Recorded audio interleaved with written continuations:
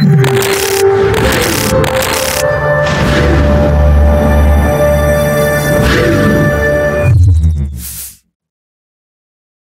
the previous class we discussed the topic, the importance of Paul's conversion. In today's class, we will be discussing the topic, Paul's mission. How Paul and Barnabas were selected for missionary work. There was a church at Antioch in Syria. Antioch was the headquarters of Gentile Christians. The believers were first called Christians there. In the church at Antioch, there were prophets and teachers. Their names were Barnabas, Simeon who was called Niger, Lucius of Cyrene, Manaen who was a member of the court of Herod the Tetrarch, and Paul.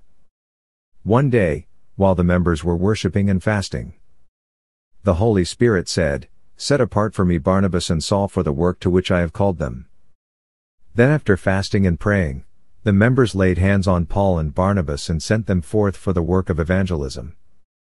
Evangelism among the Gentiles was the work the Holy Spirit said he had called them to do.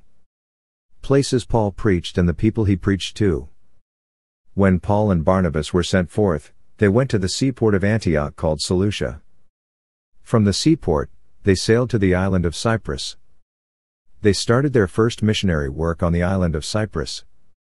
The first place Paul and Barnabas preached was called Salamis, on the island of Cyprus. They also preached at Paphos and probably some other places on the same island. Etc. Thanks for watching. See you in the next video.